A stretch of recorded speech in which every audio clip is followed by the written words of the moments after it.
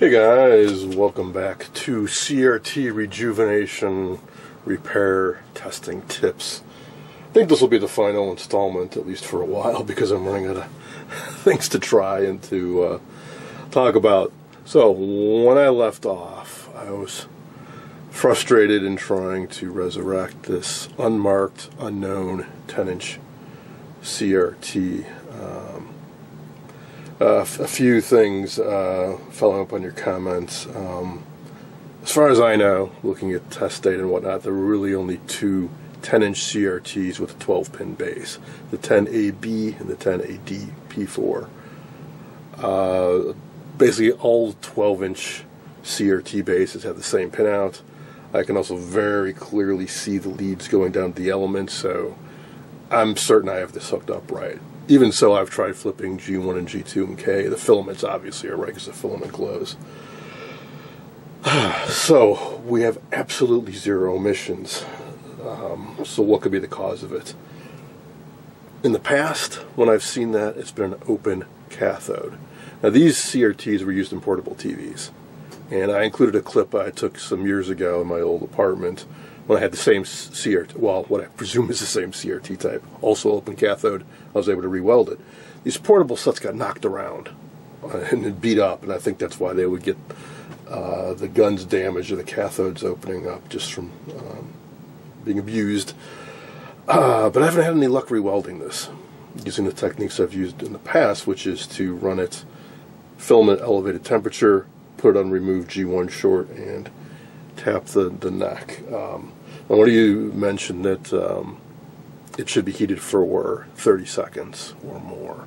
I didn't heat it up that long, so we're going to try heating it up longer. Uh, I cannot physically see any damage. I don't know that it's an open cathode. So what else could cause absolutely zero emissions? Um, if some air is leaked in, because there's no there's no getter or the getter's been used up, which has me concerned. Now, if a lot of air got inside, the filament wouldn't glow. Uh, and if some air leaked in, it should ionize, and we should see a purple bluish glow, and we don't. What I don't know is if a little bit of air leaks in, is it possible that it would completely kill emissions? We wouldn't see any ionized gas, and the filament would still glow orange. Maybe. I don't know. in which case, I'm completely wasting my time, and it doesn't have an open cathode. But we're going to assume it does. And there's one, uh, we're going to, so here's what we're going to do. We're going to heat it up longer. We're going to try the same thing with the G1 and hold down the red button. But instead of me tapping the neck, we're going to use this guy. I've forgotten about this. Um, I picked up a Raytronic Beamer cathode uh, restorer a while ago. That was, I think, the first device like this that ever came on the market. And it was a hodgepodge so there's the core device itself, and it came with this, um, which is a, just an off-the-shelf uh, personal vibrator um, massager. Uh, mine didn't come with it, but I just bought this off eBay. But it looks identical to the one that would have come with the device. And the other thing it would have come with was a high voltage high frequency device, um, a BD10, which is made by Wall, not Wall, um, I forget who makes them, but it's still made to this day. You can still buy them, but they sell for a few hundred bucks, and I'm missing it. I probably wouldn't help this. I think it can help with removing shorts, um, but we have the opposite problem. So the idea is instead of me whacking the neck, we're going to put this up against the neck. Uh, they showed this attachment being used in the literature, so that's what we'll go with. It's kind of hard, not kind of, it is hard plastic. So I'm a little concerned, but uh, it's not metal, so that should help. Let's see, I guess this throw it on like so. Okay, so let's turn this on. And uh, I'm going to put it against another CRT just to get a feel for it. Okay, that's that's kind of insane. Uh,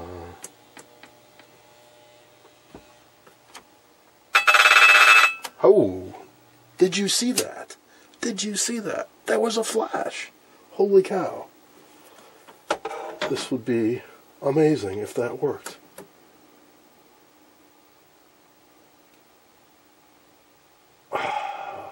come on, It flashed. Something flashed. But we still have no emissions. Ah. Well, we can try it again. Maybe it opened back up. At least it did something. I also turned the bias all the way down, so um, actually the grid is more positive than it's supposed to be right now. Just thinking that might coax some emissions out of it. Okay, we shall try it again. This has a circuit breaker in it. Occasionally when you go to these more aggressive settings, it trips it. So that's all that that was. Alright, we wait 30 seconds again. Okay, here we go again.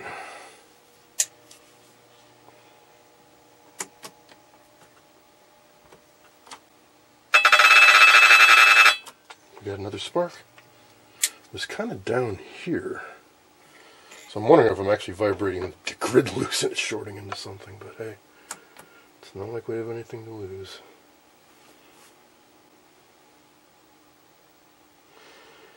I'm thinking I gotta move faster too when I go from uh, heating this up to vibrating it.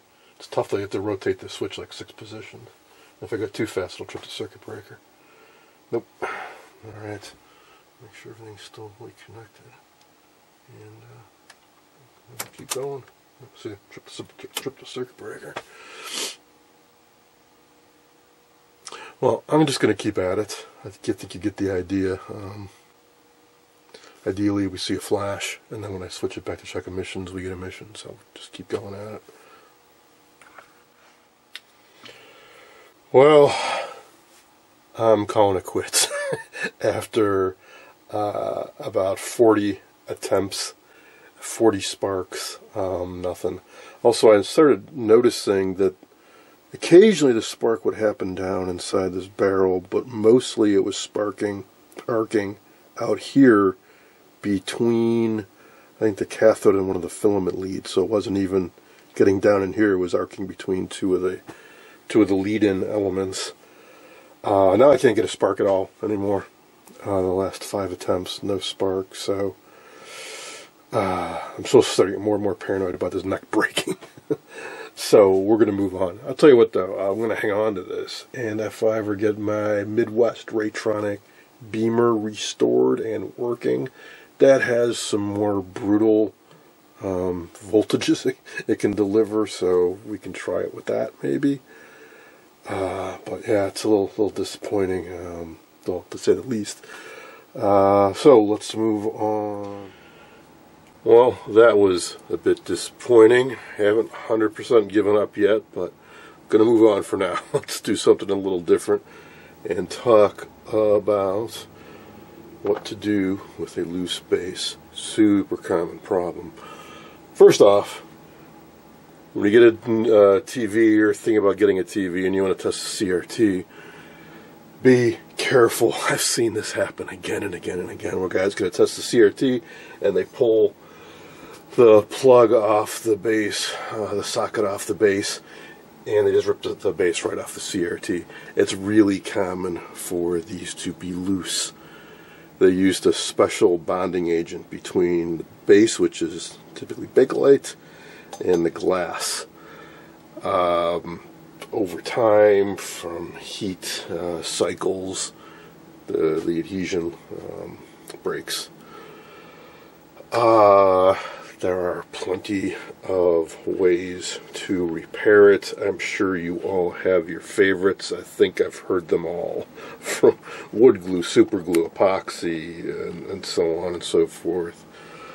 Uh, I'm just going to show you what I like to use and I'll tell you why I like to use it, which is this Permatex windshield and glass sealant.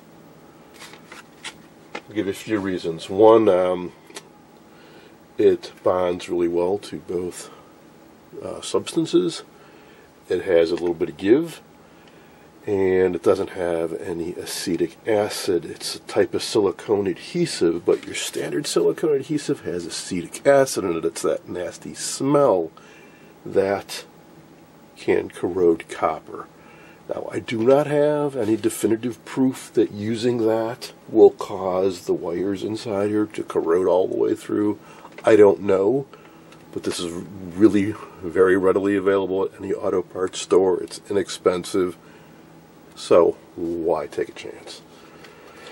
Now, this is the ideal situation where it's still attached and there's only a little bit of give, meaning that the bonding agent, the old stuff, is still in here. And uh, there's, so there's just a fine gap between that and the glass. So all I need to do is clean this up a little bit. And uh, notice the flowable part of this. Uh, at least I think, yeah, flowable silicon. This is fairly uh, thin. This will flow into that gap and set up uh, fairly quickly, maybe an hour or so to the point where it is, uh, like, yes, let dry for one hour full cure 24, but within an hour, it's it's going to basically not be, you won't be able to move it. Now, the other reason I like this is it has some give to it. These get pretty hot when they're running. The gas, will, uh, sorry, the glass will expand a little bit. The base ideally expands exactly the same amount, but I don't think that's always the case, and that's probably why this adhesion fails over time. If you use a super rigid glue, like two-part epoxy, you might crack the glass eventually or crack the base.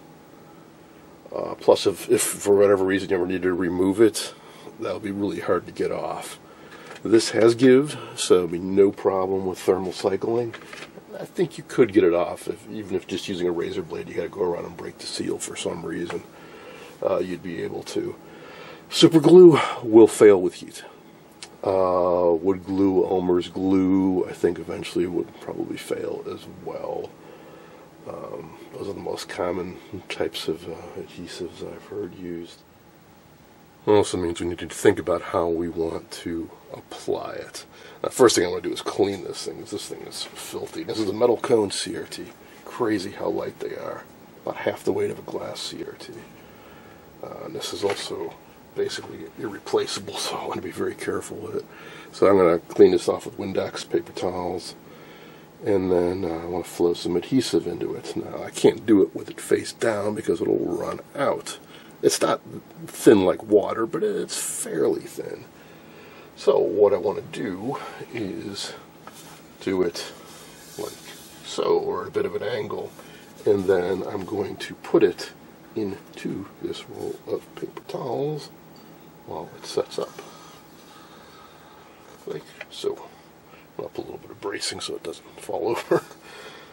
Uh, it takes about an hour to set up and fully cures in 24 hours. So I will apply the adhesive tonight and just let it sit unmolested until tomorrow night. And then we'll take a look at it. Oops.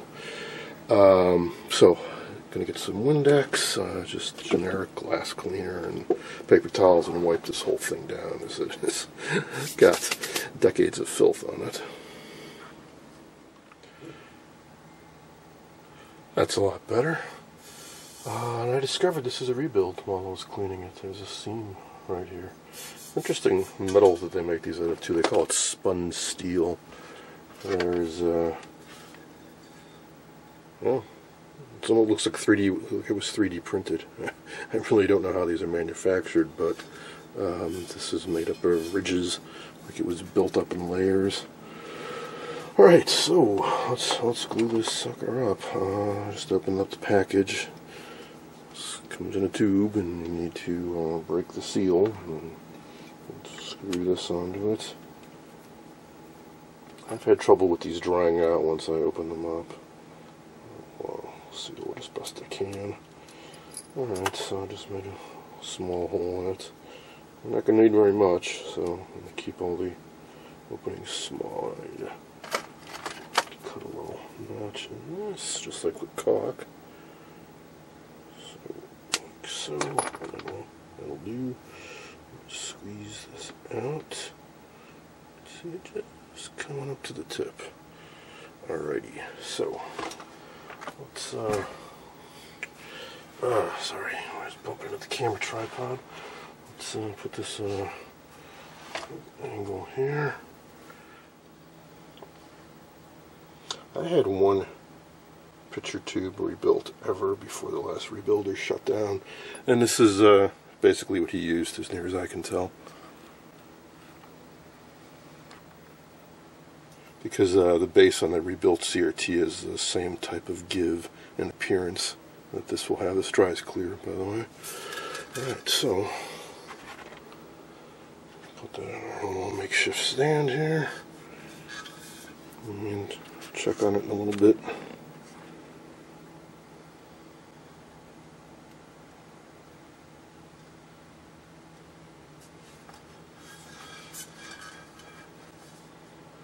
Kind of convenient that it works out to be just the right diameter.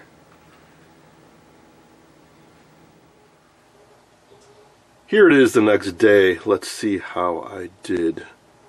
Well, it could have been a little neater cleaning off the excess, but I did avoid having it on so thick it protrudes. That's the thing you really want to avoid. If this adhesive sticks out, you may have trouble sliding on the ion trap magnet, the focus coil, the yoke. You want to keep this so it's flush with uh, the other components. As far as adhesion goes, perfect. It's on there very firmly, but if you put enough pressure, there's a little bit of give to it. Exactly what I was going for. Well, moving on now, let's uh, try experimenting with brightener. So here is a Predicta television with an original low voltage uh, type CRT and the set is actually playing right now with the brightness turned up all the way. Maybe you can just barely make something out. Let me turn off the lights. hey, there's actually an image there. I put this on my tester with the recommended uh, filament voltage of 2.35 volts. The emissions are like two ticks above zero. I tried doing the manual restore, the, the sorry, the auto restore, then a one-shot rejuve. It actually made things a little bit worse. However, I noticed when I turned the filament juice up to about three and a half, four volts, the emissions went up way into the green. So, let's see what a brightener can do. So this is, it's a little bit brighter than, well, no, this is about what normal a well-lit living room would be about at this level, so obviously you couldn't watch this unless you sat in complete darkness. So here is my brightener. Permapower, this is the right type, I believe, of uh, socket for this set. There's a switch on the back, S and P. Series strung sets, we want this in the S position. This I'll try to fit in the housing here. If I need to, I'll just leave the back off. This will increase the filament juice. How much? I don't know. I'm guessing in the order of 25%, just like when I did on my tester, which got about a 75% boost in the emissions. So, let's see. Oh, and the, and the contrast, uh, the cutoff improved dramatically as well. So let's see what effect it has. Okay, it has been installed. It looks like the film is glowing a little bit brighter than it did earlier. Waiting for the set to warm up. oh yeah, that's an improvement. We couldn't see it, or we could barely see it before with the lights on. Lights off again. It's not spectacular though. Yeah, it's better. There's brightness all the way up.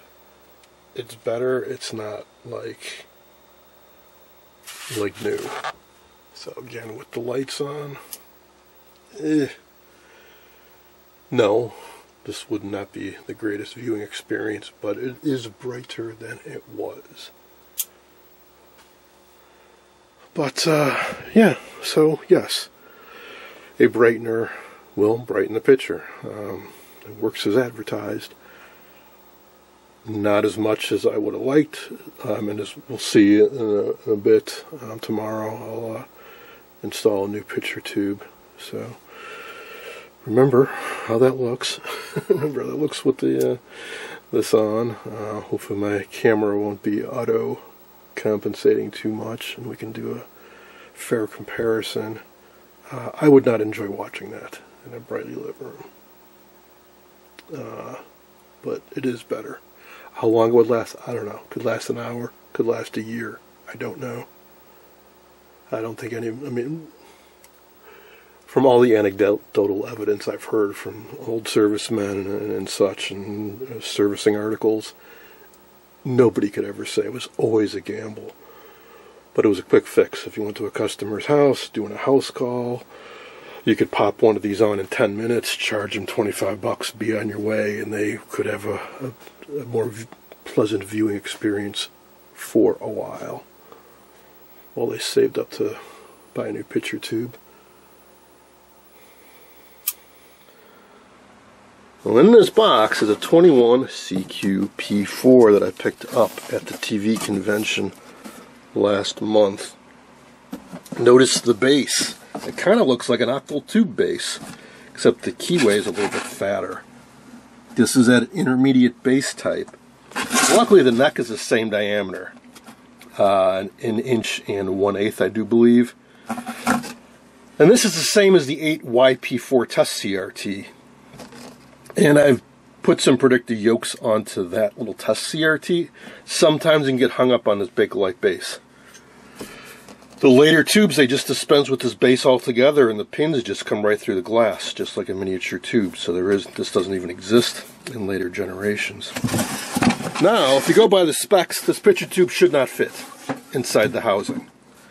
However, this is a rebuild. I bought several rebuilds, and when they rebuild it, they cut the glass here and they insert a new electron gun, glass stem, base, they evacuate it and reseal it and, and all that. The length on the rebuilds can vary quite a bit. Uh, between the three I bought, one is about what it should be according to the specs. One is a little bit longer, and this one is considerably shorter. Between the three, the length of the neck varies by almost two inches, which is crazy. But uh, this one, I eyeballed it that a test fit with the back cover. It should just fit. However, I uh, need to make an adapter or rewire it or something because my uh, socket's not going to fit onto this base.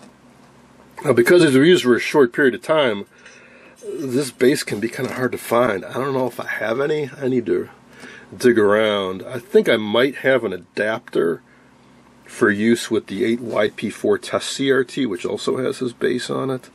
But as far as a permanent uh, solution, um, I'm not, I'm not sure what I'm going to do right now.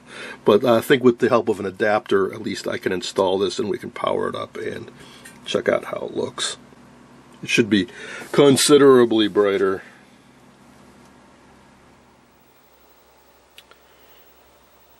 And there we go. Just had to switch G1 and G2. I traced out the wiring and made the change in this connector. So here it is running with that same test pattern with the very bright shop light right above it shining down on it. Perfectly watchable. I can even go a little bit higher with the brightness if I want. I normally have it around here. Very responsive with the contrast control and much better focus. So this was absolutely a success.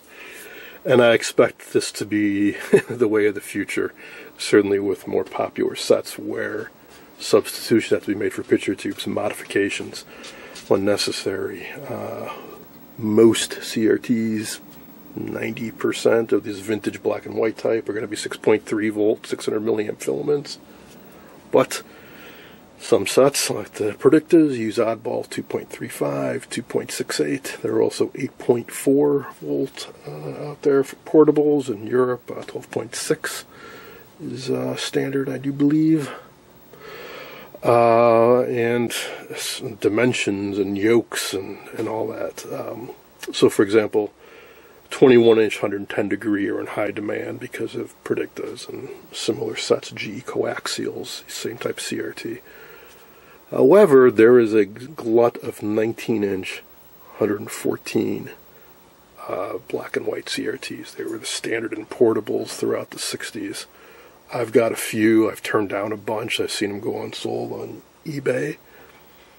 I've thought about using one if I could not get one in a Predicta. So a 19 in place of a 21. There'd be a one inch border around. Okay, pack some foam in or something. Um, and 114 versus 110, probably close enough. Wouldn't be any big deal. Uh, so Someday, maybe, if these uh, picture tube uh, rebuilders never get uh, back up and running, maybe that's what we'll have to start doing. Uh, but for now, uh, yeah, this this was a success. And here it is with some actual programming material. This looks fantastic. It's been a while since I saw what a new old stock or rebuilt picture tube looks like. That is that is fantastic. Uh, so that's that's that's going to be a wrap for now. I was not able to resurrect this unmarked CRT, unfortunately. I'm really thinking it's not an open cathode, though. There's something else going on. The gun is physically damaged. All the coating's gone off the cathode, or enough air is leaked in that it just does not work anymore. But I will keep banging away on it, literally and figuratively. Uh, talked about reattaching bases and. Uh, swapping out CRTs and using a brightener. So I hope you enjoyed these tips, found this interesting, found this useful. Thanks for watching.